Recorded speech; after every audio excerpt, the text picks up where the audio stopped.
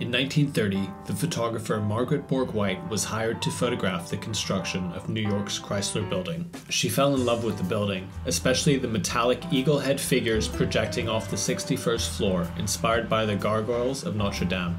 She decided to open a studio there. The management initially refused to rent to Bourke White because she was a woman.